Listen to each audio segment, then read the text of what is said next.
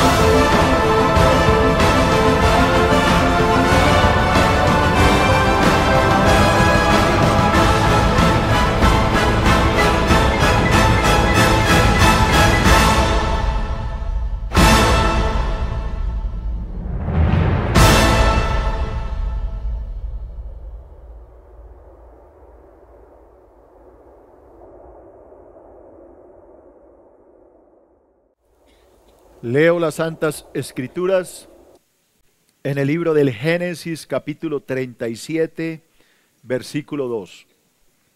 Dice la palabra de Dios, esta es la historia de la familia de Jacob. José, siendo de edad de 17 años, apacentaba las ovejas con sus hermanos, y el joven estaba con los hijos de Bila, y con los hijos de Silpa, mujeres de su padre, e informaba José, a su padre, la mala fama de ellos. Y amaba Israel a José más que a todos sus hijos, porque le había tenido en su vejez. Y le hizo una túnica de diversos colores. Y viendo sus hermanos que su padre le, amaba más que a ellos, que a todos sus hermanos, le aborrecían y no podían hablarle pacíficamente. Y soñó José un sueño y lo contó a sus hermanos, y ellos llegaron a aborrecerle más todavía. Y él les dijo, oíd ahora este sueño que he soñado. He aquí que atábamos manojos en medio del campo, y aquí que mi manojo se levantaba y estaba derecho, y que vuestros manojos estaban alrededor y se inclinaban al mío. Y respondieron sus hermanos, ¿reinarás tú sobre nosotros? ¿O señorearás sobre nosotros? Y le aborrecieron aún más a causa de sus sueños y sus palabras. Soñó aún otro sueño y lo contó a sus hermanos diciendo, He aquí que he soñado otro sueño. He aquí que el sol y la luna y once estrellas se inclinaban a mí. Y, y lo contó a su padre y a sus hermanos, y su padre le reprendió y le dijo, ¿Qué sueño es este que soñaste? ¿Acaso vendremos yo y tu madre y tus hermanos a postrarnos en tierra ante ti? Y sus hermanos le tenían, ahí está el tema, sus hermanos le tenían qué? Envidia. Mas su padre meditaba en esto. Amén. Oramos, santos. Padre de los cielos, en el nombre de Jesucristo de Nazaret, colocamos en tus manos, Señor, esta palabra, este nuevo estudio que hoy vamos a comenzar sobre el tema de la envidia. Oro en el nombre de Cristo para que me dé sabiduría, para que pueda transmitir esta palabra con claridad, con sencillez. Y dale sabiduría a mis hermanos para que la puedan recibir con humildad y aplicarla a sus vidas. Esto te lo pido, Señor, en el nombre de Jesucristo de Nazaret. Amén y amén. Hoy comenzamos un nuevo estudio. Hace ocho días terminamos un estudio sobre la impaciencia y hoy vamos a empezar un estudio sobre la envidia. La historia en que me voy a basar para tocar este tema nos habla de una familia y es la familia de Jacob. ¿Recuerdan a Jacob que usurpó a su hermano, se vistió, engañó el engañador a Esaú y se hizo pasar por Esaú? Este Jacob ya creció, ahora ya es un adulto, ahora ya es padre de familia, ahora no tiene una esposa, sino que tiene cuántas? Cuatro. Tiene dos legítimas y dos concubinas, cuatro. Y de todas tiene hijos. Así que tuvo doce hijos, a falta de uno. Todos esos doce hijos, desde el mayor Rubén hacia abajo, todos estaban allá con su padre. Eh, el hijo menor era eh, José, aunque había uno más pequeño aún, muy sardinito, que era cuál? Benjamín, muy bien, los veo bien. Este, eh, digámosle, el segundo de, de menor a mayor era José. Era un adolescente, 17 añitos, jovencito el muchacho, pero Dios había querido a través de este José eh, mostrar su, su gloria y mostrar su poder. Por eso Dios eh, trajo una gracia especial en la vida de José. Cuando uno estudia la vida de José desde comienzo a fin, vemos que la gracia de Dios siempre estuvo con él, como lo veremos más adelante en todos los estudios que voy a dar. Así que este joven, desde pequeño, halló gracia no solo en Dios, sino también en su padre. Su papá lo amaba, ¿Por qué? Porque era el hijo de, su, de la esposa que él más amaba, Raquel. Él, él, él, trabajó por ella cuántos años? Prácticamente 14, porque le hicieron un gol. Acuérdese, yo le enseñé esto. Así que él amaba a esta mujer, él había pagado un precio altísimo por ella. Y pues el primer hijo que le dio ella fue José. Y el segundo, Benjamín. Entonces el papá le tenía un aprecio especial a este joven. Ahora la palabra nos dice que lo amaba mucho porque lo había tenido en su vejez. Así que primero nacieron los hijos de Bila, de Lea y de eh, Silpa, pero eh, Raquel no daba hijos, no daba luz hijos. Así que cuando él tiene este hijo, José, eh, dice la palabra que él ya era un anciano. Se calcula que José, eh, Jacob o Israel, que es el mismo, porque Dios le cambia el nombre de Jacob por Israel, eh, como el nombre de Abraham es cambiado por Abraham o de Sarai por Sara. Dios cambió el nombre de Jacob, le dijo no se llamará más su nombre Jacob, sino que te llamarás qué? Israel. Israel pues es la nación que hoy conocemos todos allá en el Medio Oriente. Así que el papá lo amaba porque lo tuvo en su vejez, porque era el hijo de su esposa amada, Raquel, y porque eh, era un joven con un carisma especial. Se calcula que Jacob tenía alrededor de 90 años cuando nació eh, José.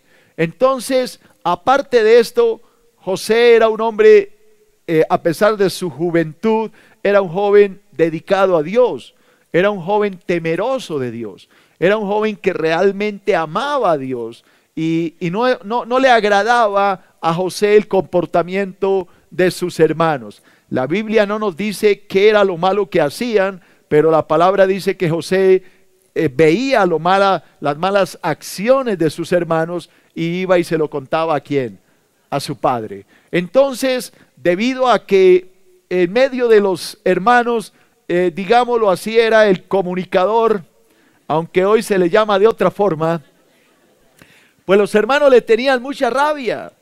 y no les agradaba para nada. Entonces cada vez que lo, lo veían llegar, allá dice, allá viene el que salta, el que salta, el que, sí, allá viene, allá viene. Le tenían odio, le tenían rabia a José, no lo toleraban.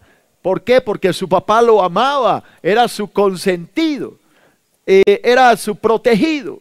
Y para completar y para completar la historia y para terminarle de dar más rabia, pues su papá le mandó a hacer una túnica real, una túnica de colores, una túnica con mangas larga como un abrigo, pues esto creó celos, porque este tipo de prendas eran usadas por la realeza. Así que lo que el papá le estaba transmitiendo desde Rubén, que era el mayor, hasta el menor, era que él quería que José fuera su señor. Era casi el último y él lo quería poner por encima. Entonces calcule los celos de esta familia. Era una familia terrible, disfuncional. El papá cometió un grave error y eso no es sabio, hermano, de darle más amor a uno que a otro. Se debe amar a los hijos por igual, porque mire los problemas que crea esto. Eso crea celos en medio de la casa. Dice que eh, Jacob le mandó a hacer su túnica y lo vistió y lo, lo amaba por encima de todos. Y para terminarla de completar, ahí sí como para rematarla, resulta de que Dios le dio unos sueños a José. El joven se soñó, dice que él estaba ya eh, levantando en el campo manojos de, de trigo o de cebada, no sabemos. Aquí estaba levantando estos manojos y allá acostumbraban a amarrarlos en el campo y a pararlo. No sé si ha visto alguna vez una película que amarran el trigo y lo, paran ahí. Y él veía que todos sus hermanos recogían trigo y lo paraban ahí. Pero él dice aquí que el, el manojo de él se levantaba por encima de todos los manojos. Yo no sé si es posible que leamos esto para que ustedes vean lo que él estaba diciendo. Dice el versículo 7. Eh, Dice aquí que estaba, atábamos manojos en medio del campo y aquí que mi manojo que se levantaba y estaba derecho. Y oiga, y que vuestros manojos estaban alrededor y se inclinaban ante el mío. Pues calcule lo que él estaba transmitiendo. Lo que les estaba diciendo es que él sería el Señor de ellos, que él sería su amo y que ellos serían sus súbditos porque se postrarían ante él. Cuando él cuenta este sueño, sus hermanos se le llegaron a aborrecer más, pero parece que a, José le faltaba como poquito de sabiduría, porque viendo que le tenían tanta bronca, ¿por qué, ¿por qué no se guardaba esos sueños para él? Pero este joven como que le gustaba atormentarlos y fue y tuvo otro sueño. Y entonces el otro sueño fue y se los contó. Pero esta vez no, no, se lo contó solo a los hermanos, sino a su propio padre. Y le dijo que él había soñado eh, viendo el sol, la luna y las estrellas. Y dice la palabra, vamos a leerlo acá, versículo 9. Dice, soñó otro sueño y contó a sus hermanos diciendo, he aquí que he soñado otro sueño. He aquí que el sol y la luna y once estrellas. Mire, once hermanos se inclinaban a mí. Oiga, esto, esto está como el dicho, ¿no? Blanco es, gallina lo pone y frito se come. Y hasta con revueltos de tomate. Así que el hombre era más específico, no pudo ser más claro. Eh, yo estoy aquí parado, el sol miró al papá, la luna, mamá, y once estrellas todos, Rubén, Abulón, Neptalí, eh, Gad, Aser, Dan, todos ustedes tienen que inclinarse ante mí. Ahí el papá metió la cucharada y le dijo, ¿qué estás soñando? ¿Qué te pasa? Tú lo que estás insinuando es que tu mamá y yo y tus hermanos vamos a venir a postrarnos ante ti. Dice la palabra que los hermanos al oír esto ahí sí que lo odiaron pero lo tenían un odio. Dice la palabra que todo esto era debido a una cosa, que es la envidia. Un tema que pocas veces, creo que aquí nunca lo hemos tratado y lo vamos a enseñar. la envidia, algo que viene de la carne, algo que viene de esa lucha entre el bien y el mal, y que cuando la dejamos triunfar puede llevarnos a cometer cosas terribles, hasta muerte, asesinatos han sucedido por la envidia. Hay personas que se enferman por la envidia. Hay personas que caen en la cama por la envidia, terminan en un hospital. ¿Por qué? Porque la envidia crea en ellos una ansiedad, una angustia tan terrible que no los deja vivir en paz. La envidia hace desdichado al que la tiene. La envidia hace que la persona sea infeliz. La envidia hace que la persona piense cosas malas contra otra y planea aún la muerte en su mente. La envidia es algo terrible, iglesia, y es algo que creo que merece un estudio amplio, minucioso sobre este tema. Así que si lo quiere recibir, levante la mano, dígame, y si no, entonces hablamos de eh, prosperidad. Bueno, entonces nos vamos con la envidia. Listo, usted sabe que yo soy el hombre de los pensamientos. A mí me gusta escribir para que usted reciba más. Así que me voy con mi primer pensamiento. La envidia, óigame, la envidia es un sentimiento o estado mental en el cual la persona siente dolor o desdicha por no poseer lo que otro tiene. ¿Entendió? No estoy muy convencido. Voy a volverlo a leer. Escuche. La envidia, ¿qué es? Es un sentimiento, porque usted lo siente aquí adentro. O un estado mental en el cual la persona envidiosa, ¿qué siente? Dolor, desdicha por no poseer lo que otro tiene. ¿Eso qué es? Envidia. Envidia es cuando usted quiere algo que es de otro. Hay mujeres que le envidian el marido a otras. Hay hombres que le envidian el carro a otro. Hay otros que le envidian el trabajo. Y tristemente, tristemente, que no debería ser, hay algunos que le envidian hasta el ministerio a otro. Eso se llama qué? Envidia. Entonces, de esto no está vacunado nadie.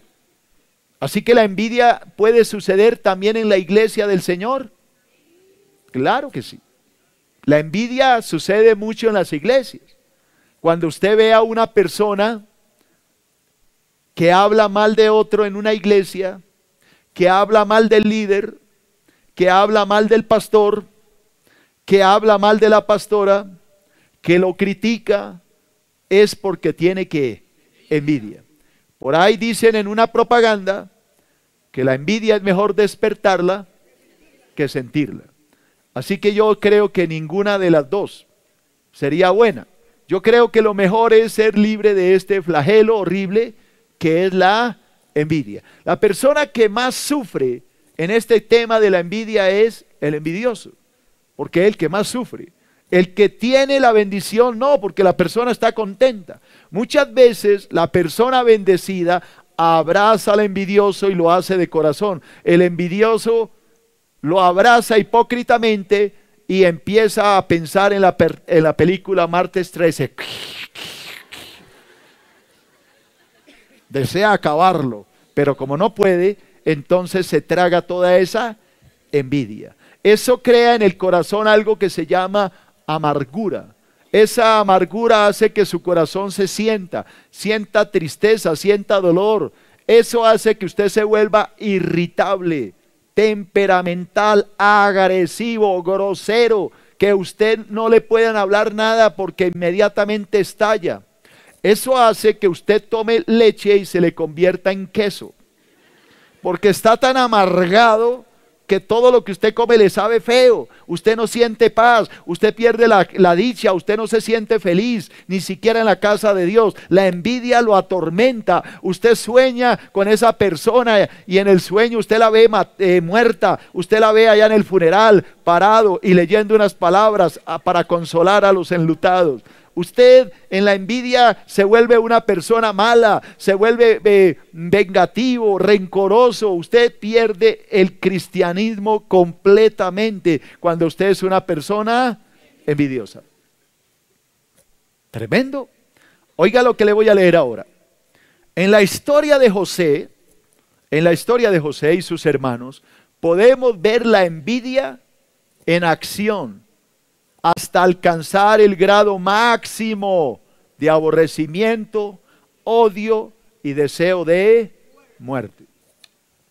Otro pensamiento. La vida de José guarda una gran similitud con la vida de nuestro Señor Jesucristo. El aborrecimiento que los fariseos y saduceos sentían por Jesús era tan grande que lo llevó a planear y consumar su muerte. Yo les voy a mostrar en la Biblia, cuando vaya desarrollando mi estudio, que Jesucristo lo mataron no porque no creyeran que era el Mesías, sino porque le tenían envidia. Eso lo voy a demostrar. Jesucristo le dijo, yo soy el Cristo. Le preguntaron, le dijo eh, eh, el, el sumo sacerdote, de por Dios, no nos atormentes más. Si tú eres el Mesías, el Cristo, dínoslo. Y él le dijo, llevo tres años diciéndoselo y ustedes no han creído. Si no me pueden creer a mí, crean a las obras que yo he hecho. Y entonces se llenaron, dice la palabra, de qué? De envidia. Y lo llevaron a la cruz. Así que la envidia es un mal terrible, hermano. Es una demostración de, la que la, de que la persona está totalmente controlada por la carne y no por el espíritu. Así que en este tema de la envidia yo veo una lucha entre el bien y el mal. Por eso el tema. Otro pensamiento. Aunque la Biblia nunca declara que José sea una figura o tipo de nuestro Señor Jesucristo, aún así sus vidas tienen muchas cosas en común. Amén. Veamos pues. Me voy con mi primer punto. Primer punto de mi estudio. El Hijo amado. Ese es mi primer punto. El Hijo amado. Y quiero empezar con un pensamiento. Óigame, el amor, el amor que Jacob sentía por su hijo José, trajo como resultado la envidia y el odio de sus hermanos al grado de desear su muerte. ¿Dónde, repito, dónde nació la envidia en esta familia? Pregunto, voy a volver a leer, por eso es que me, gusta ponerle pensamientos, porque ni con pensamientos se entienden, así que vuelvo a leer. El amor de que Jacob, vuelvo y repito, el amor que Jacob sentía por su hijo José trajo como resultado la envidia y el odio que sus hermanos de sus hermanos al grado de desear su muerte. Vuelvo a formular mi pregunta. ¿Dónde se originó la envidia en esta familia? ¿En José o en su padre? En su padre. El papá fue el culpable. Y José, pues le gustó que su papá lo consintiera y le agradó. A quien no le va a gustar que lo consientan. Pero aquí el culpable realmente de todo este asunto vuelve y juega es quien? Jacob. Así que Jacob era una, una belleza, ¿no? ¿Se acuerda cómo em, eh, se acuerda de las lentejas? Esta semana hicieron lentejitas, ¿no? ¿Sí? Le echaban papita y todo eso. ¿Se acuerda todo lo que hizo Jacob? Pues acá la termina de embarrar. Ahora resultó consintiendo tanto a un hijo por encima de los otros que hizo en ellos despertar que la envidia. Así que la envidia nace ahí y lo voy a demostrar. Génesis 37:3. Génesis 37.3. Escuche, mire cómo empieza el versículo. ¿Qué dice? Y amaba Israel o Jacob, es el mismo, a José. ¿Cómo? ¿Cómo lo amaba? Más que a todos sus hijos. Porque le había, porque le había tenido en su vejez y le hizo una túnica de diversos colores. Pregunto, ¿esto era correcto? No. ¿Cómo es así que, que porque lo tuvo en su vejez en todo esto? El, el Cuba. Es que hay que consentirlo porque es el Cuba. Así decían las abuelitas. Y uno decía, ¿y esa vaina qué es? El Cuba. El pequeño. Esto no era sabio. Y si usted, hermano cristiano y hermana cristiana, tiene ese bendito problema en su casa, más le vale que lo corrija ahora. No hay sea que de pronto usted esté cultivando la envidia en el corazón de sus hijos. Los hijos hay que tratarlos por igual. Hay que amarlos por igual. Así que ahí nace la envidia. Y escuche lo que dice el versículo siguiente. Versículo 4. ¿Qué dice? Versículo 4. Lea conmigo. ¿Qué dice? Viendo. A ver, póngale el dedo en el ojo a su hermano. Dígale. Viendo, compadre. Viendo. Pero ¿quién veía? Viendo. Pero ¿qué era lo que veían? Viendo sus hermanos que su padre lo amaba más que a todos sus hermanos, ¿qué pasaba? Le aborrecían y no podían hablarle pacíficamente. Así que la hermana que cree que los hijos no se dan cuenta de que usted consiente más al otro, que al uno le pega un, le manda el pedacito de carne chiquito y al otro la libra, y usted cree que los otros no se dan cuenta, ni mensos que fueran, claro que se dan cuenta. Si a uno le compra los tenis de esos que bajan con horqueta en San Victorino y al otro lo manda a las mejores tiendas en Unicentro para que compre los tenis, ¿usted cree que los hijos no se dan cuenta? Pues yo quiero que sepa que sí se dan cuenta. Que no diga nada es algo diferente, pero los, hijos se las pillan, ellos se dan cuenta de los detalles. Y no crea que no, que no es sabio hacerlo.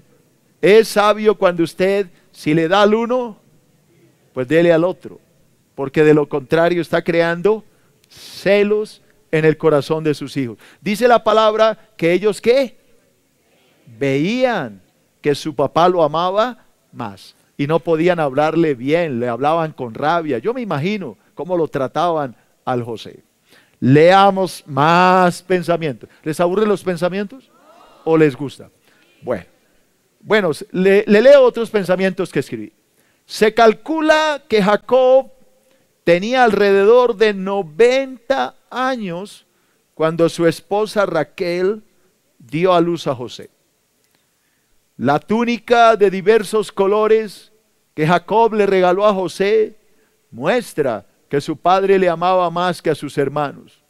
Y esto trajo a sus corazones gran envidia y aborrecimiento. Otro pensamiento. Al igual que José, mire cómo comparamos esto con Cristo. Al igual que José, los fariseos y saduceos le tenían gran envidia al Señor Jesucristo, al grado de entregarlo a la muerte siendo inocente.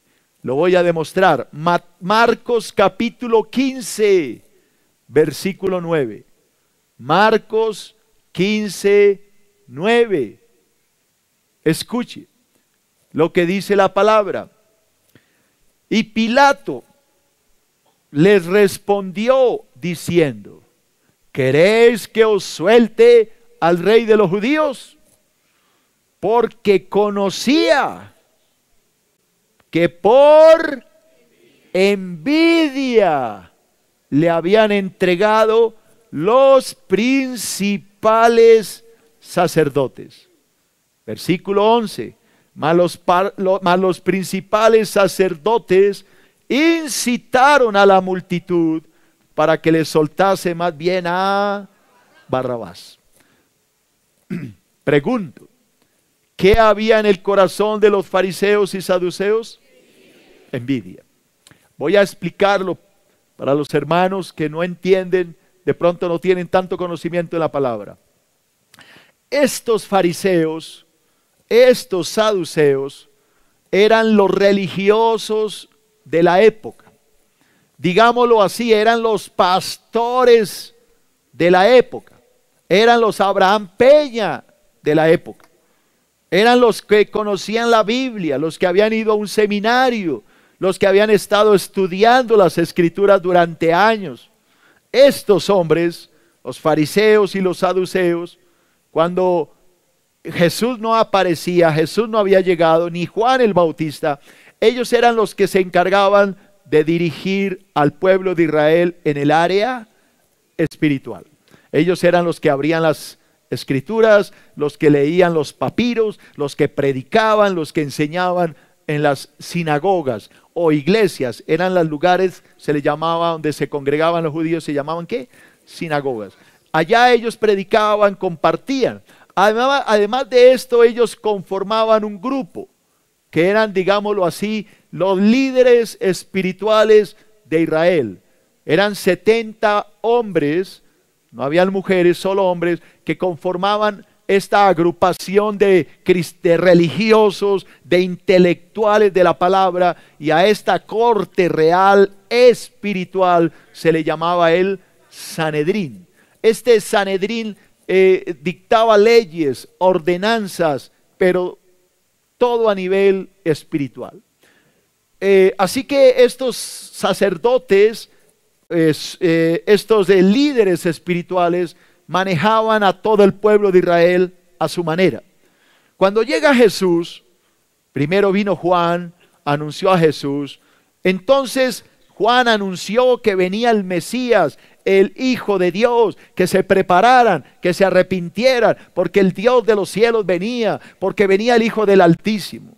Entonces fueron los fariseos, fueron los saduceos para que los bautizara Juan. Y ellos estaban esperando que Juan le dijera a ellos, pero señores fariseos, señores saduceos, doctores de la ley, escribas, intelectuales espirituales. ¿Para qué vienen a que yo los bautice? Si ustedes son santos, si ustedes son perfectos, ¿cómo van a venir a que yo los bautice si ustedes no necesitan bautizar? ¿Sabe qué les dijo Juan a ellos realmente? Les dijo cuando vinieron estos hombres santos, entre comillas, Juan los recibió de esta manera y les dijo, generación de víboras ¿Quién os enseñó a huir de la vida venidera? Haced pues frutos de arrepentimiento. Y no empecéis a decir dentro de vosotros, a Abraham tenemos por padre, porque yo os digo que Dios puede levantar hijos de Abraham aún de estas piedras. Sepan ustedes que el hacha de Dios está puesta en el árbol, y si ustedes no se arrepienten, el hacha será lanzada y los árboles serán cortados y echados al fuego del infierno. Ay, tan tierno, ¿no? cómo predicaba de tierno mi querido Juan. Entonces ellos se llenaron de rabia. Cuando llegó Jesús para que fuera bautizado, ya se lo enseñé. Entonces eh, eh, ellos estaban esperando, ahí viene el Jesús, lo va a vaciar, así como nos vació a nosotros, le va a decir víbora. Y llega Jesús y Juan le dice, Señor, se postra ante él. ¿Cómo, cómo vienes a que yo te bautice? Si yo sé que tú eres santo, tú eres el Cordero de Dios que viene a quitar el pecado del mundo. Tú deberías bautizarme a mí y yo no a ti. Así que yo no te puedo bautizar. Y el Señor le dice, deja Juan, porque es necesario que cumplamos con toda justicia. Ese fue del domingo. Ahí le estoy mezclando dos sermones. ¿ah? Entonces, entonces ellos dijeron, pero ¿cómo así? A nosotros nos vació, nos trató de víboras, de serpientes, de pecadores, y a este mal, ¿qué, qué, es esa vaina? Y a este, a este Jesús sí le lambió, le echó cepillo y empezaron a sentir, yo no oigo, envidia. Desde ese mismo instante Jesús se ganó esos enemigos. Ve cómo se parece la historia con la historia de José. Esos fariseos, óigame, esos saduceos, esos sacerdotes principales eran hermanos de Jesús porque también eran hijos de Abraham, descendientes de Abraham. Así que todos eran qué? Hermanos. Dese cuenta que la similitud es perfecta. ¿Qué fue lo que hizo que los celos comenzaran? ¿Por qué? Por el amor. Porque ellos querían que a, Jesús lo tratara igual que a ellos, pero no lo fue así. Había un consentimiento especial en la vida de Jesús. Escuche lo que le voy a leer. Un pensamiento. la envidia, la envidia de los fariseos y de los saduceos radicaba en el gran amor que Dios Padre mostraba por su santo Hijo. Voy a mostrárselo. Mateo 17.5. Mateo 17.5. Mientras él aún hablaba, o sea Jesús, una nube los cubrió y aquí una voz del de la nube que decía, este es mi Hijo amado en quien tengo complacencia. A Él oíd. El Padre celestial desde el cielo gritaba, este que está ahí es mi Hijo amado. Pregunto, ¿dijo eso de algún fariseo? ¿Dijo eso de algún saduceo? ¿Escriba, doctor de la ley? No. ¿Eso que causaba en ellos? Envidia. Juan capítulo 3, versículo 35. Juan 3, 35. ¿Qué dice la palabra? El Padre, decía Jesús, ama al Hijo y todas las cosas ha entregado en su mano. Esto les daba mucha rabia a ellos, porque Jesús les estaba diciendo que su Padre era Dios y que Dios le había entregado todo en las manos. Esto les daba una rabia. Ah, tú estás diciendo que Dios es tu Padre. Y eso los llenaba de furia. Y Jesús les decía, si yo les dijera otra cosa, estaría que mintiendo. Pero mi Padre que me envió y déle con el cuento, y entonces ellos les tenía que envidia. Juan 5:20. Juan 5:20. Escucha, mire lo que decía Jesús. Porque el Padre ama al Hijo y le muestra todas las cosas que él hace. Y mayores obras que ésta le mostrará, de modo que vosotros os maravilléis. Ah, ¿cómo le parece? Esto trae, les producía cosquilleo, rabia, comezón, rasquiña, piquiña, alergia. Y no los dejaba en paz. Porque Jesús le vivía diciendo, es que mi Padre que me envió, es que mi Padre me enseña todas las cosas, mi Padre me muestra todas las cosas y ellos estaban hartos de oír eso. ¿Por qué? Porque ellos querían que esas palabras fueran para ellos, pero no eran para ellos, eran para el Hijo amado. Así que iglesia, la similitud que yo encuentro en la vida de José y en la vida de Jesús es muy grande. Amén. Segundo, todo esto es del primero. Sí. Segundo punto. Segundo punto. El pecado denunciado. Segundo punto, el pecado denunciado. Escuche este pensamiento. Los hermanos de José le aborrecían. ¿Por qué iglesia? Porque él denunciaba sus pecados. Porque él denunciaba qué? Sus pecados. Génesis 37, 2. Génesis 37, 2. ¿Qué dice la palabra? Esta es la historia de la familia de Jacob. José, siendo de edad de 17 años, apacentaba las ovejas con sus hermanos y el joven estaba con los hijos de Bila y los hijos de Silpa, mujer de su padre. Y escuche, e informaba José a su padre la mala fama de ellos. Así que los hermanos de José tenían mala fama. ¿Por qué tenían mala fama? No porque vendieran mala carne, de esa fama no estamos hablando. Tenían mala fama porque hacían cosas malas. Y el muchacho veía y como no era de ese espíritu, le molestaba lo que veía, entonces iba y le decía, papá, ¿se imagina? Imaginé que el Rubén, allá lo vi con una vieja espelucado. Y allá el, el Isaacar es que jugando billar. ¿Cómo le parece, papá, que el sabulón harta cerveza como una yegua soleada? Y dele quejas. Y llévele al papá y échele los hermanos. Claro, llegaba Rubén preciso, espelucado. Y, y el papá le decía, ¿usted dónde andaba? Sin vergüenza, no sé qué, y lo vaciaba. Y llegaba el otro lleno de tiza. ¿Y usted dónde andaba? Su hermano me dijo que lo vio en la cantina jugando billar. Y el otro llegaba así como medio alegrón. Eh, dele. Entonces, claro, él, José, no soportaba la vida que ellos llevaban. No era que era un hipócrita, el hombre era un hombre santo, era un joven santo y por eso denunciaba el pecado. Pero mire que la cosa no termina aquí. Otro pensamiento. Al igual que José, al igual que José, los fariseos odiaban a Jesús. Pero ¿por qué lo odiaban aparte de eso? Porque él denunciaba sus pecados. Jesús le denunciaba qué? Sus pecados. Jesús era todavía más tierno. Escuche, a los que dicen que el pastor Abraham Peña es muy duro. A mí me escriben por internet, pastor, es que usted predica muy duro. Entonces nunca oyeron predicar a Jesús. Le voy a leer Mateo 23, 27. Escuche lo que Jesús decía.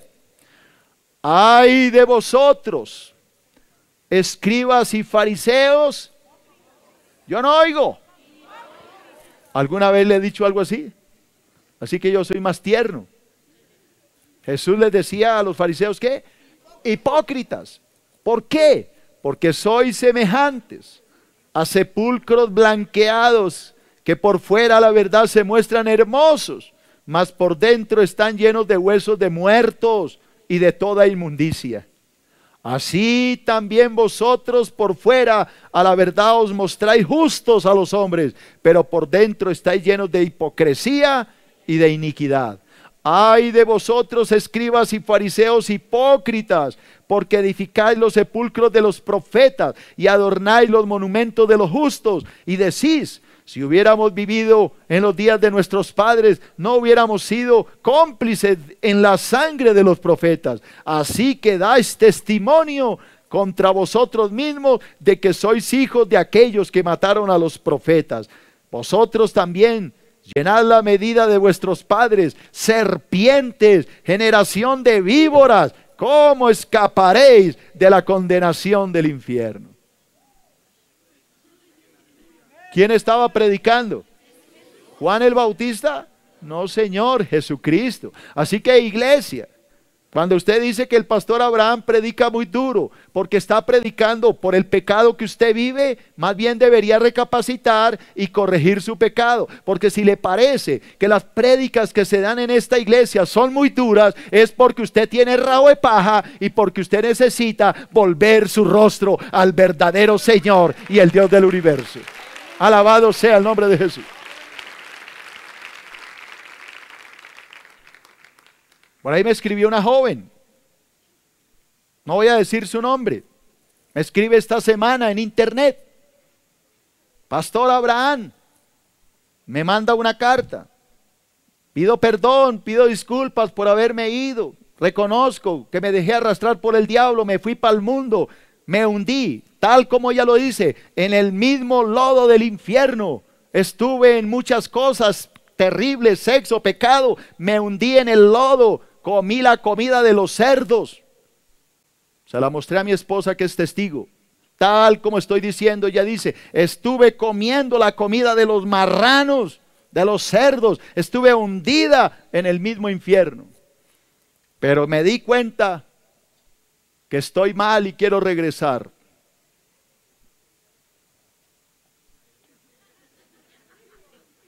¿Qué hago, pastor?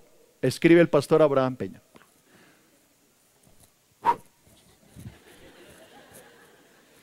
Hermana fulana. Ah, es que me faltó un pedazo. Estando en una iglesia, pastor, en otra iglesia, el pastor de esa iglesia me habló y me dijo, Dios, hermana, le va a dar a usted la última oportunidad. Es la última que le da Dios. Usted tiene que volver a Él porque está jugando con su alma. ¿Qué hago, Pastor Abraham Peña? Yo le escribo, estoy totalmente de acuerdo con el pastor que aunque usted no lo conocía, le dijo estas palabras. Creo y siento en mi espíritu que Dios habló a través de este hombre y que le está dando una última oportunidad. Lo que no entiendo, hermana, porque no lo entiendo, es como si ese pastor que Dios lo usó para reprenderla y volverla por el camino, si este pastor le habló y usted recibió esta palabra de Dios, ¿cómo es posible que usted aparezca hoy en internet en una fiesta del Halloween participando de una fiesta pagana? Usted no recibió la palabra que Dios le dio. Así que usted puede volver a la iglesia si quiere. Puede volver a congregarse para que Dios la libere de todos los demonios que usted ha dejado entrar a su vida. Pero una cosa le dejo en claro, entrar a los ministerios como usted estaba ejerciendo, nunca más. Me contesta ella, sabía que usted era un hombre muy duro y que no me iba a dejar entrar a los ministerios, entonces voy a buscar una iglesia donde haya un pastor de más amor y de más... ¿Cuál amor, hermana? ¿Por qué siempre tienen que manipular la conciencia? Una persona no puede votar un ministerio, irse y se prostituye y que después venga y siga en el, ministerio. Los dones de Dios no son un juego. Un ministerio no es un juego. Puede regresar a la casa de Dios porque la casa de Dios está abierta hasta para el pecador más inmundo de este planeta. Pero un ministerio, después de que ha sido contaminado, pisoteado, injuriado y pisoteado, no se debe volver a contaminar. Entonces busca un pastor. ¿Qué pastor quiere? Uno que le diga que está bien, que está correcto, que se vaya a bailar al Halloween y que después venga aquí a ministrar. No, iglesia, o somos de Dios o somos del diablo. Decídete a quién quieres servir.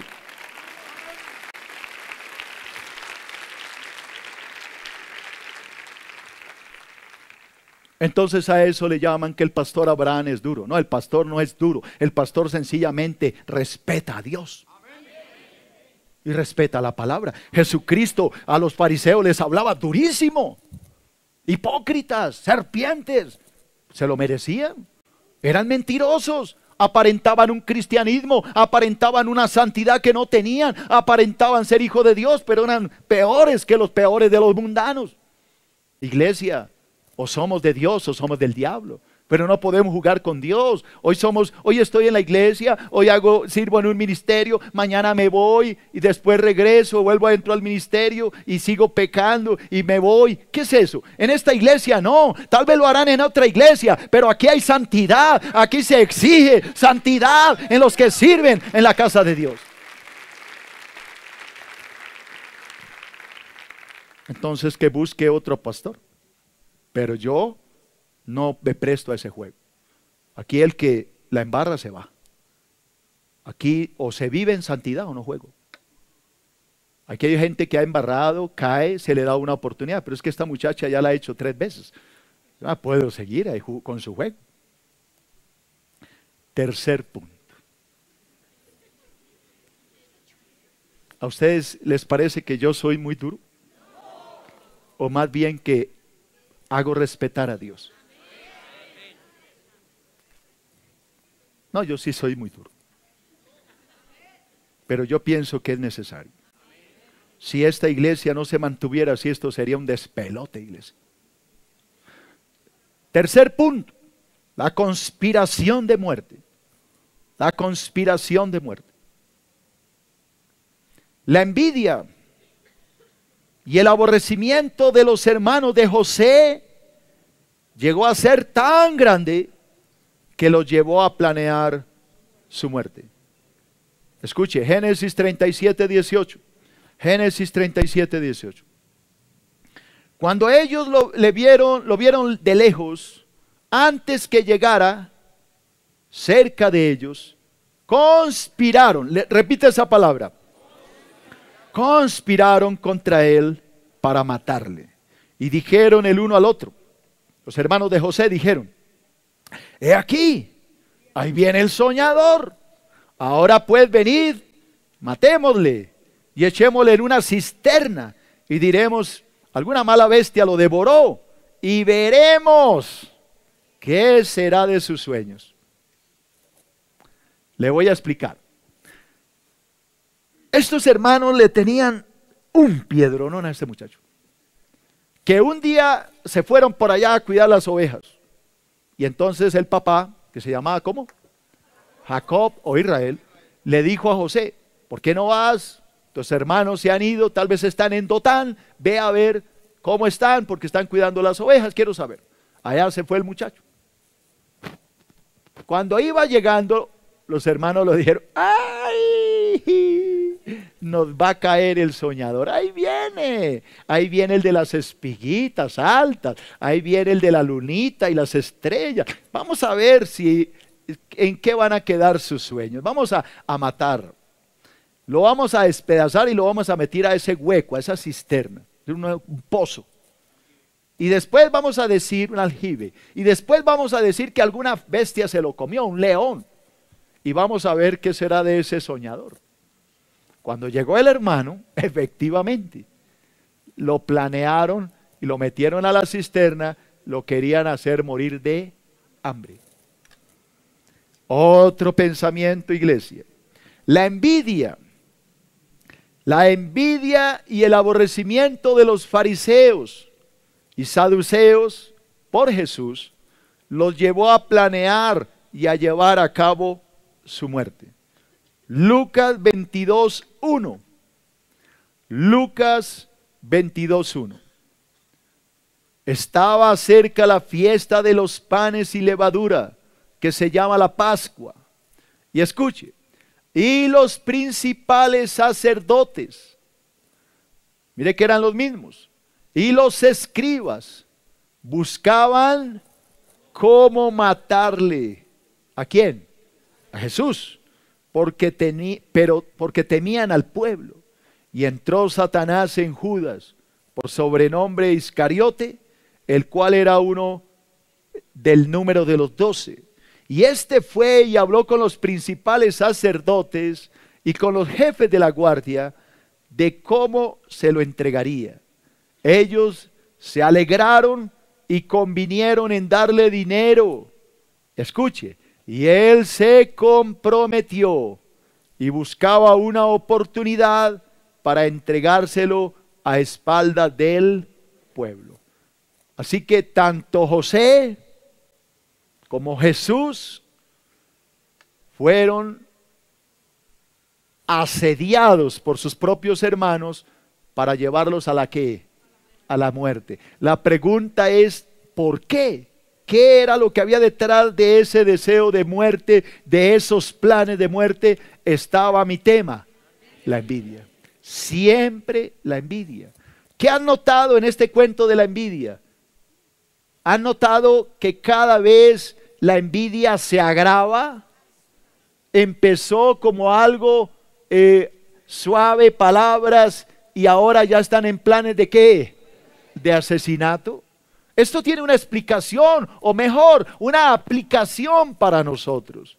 Y es que si nosotros, los cristianos, dejamos entrar la envidia por alguien o por algo, esa envidia poco a poco va a ir afectando nuestras almas al grado, óyeme, de que tú puedes terminar en tu mente matando a alguien. Eso es grave, iglesia. Alguien dirá, pero no creo, pastor, no creo. Ellos tampoco lo creyeron en su época. ¿No han oído algunas noticias de hermanos cristianos que de otras iglesias alguna vez mataron a otra persona? Vaya uno a saber de dónde los llevó a cometer un acto de estos. Así que yo también conozco a cristianos que han terminado, terminado matando a alguien porque han dejado anidar este pensamiento. Pastor más Facebook igual a bendición para el alma. Encuentra a nuestro pastor en www.facebook.com slash nuestro pastor.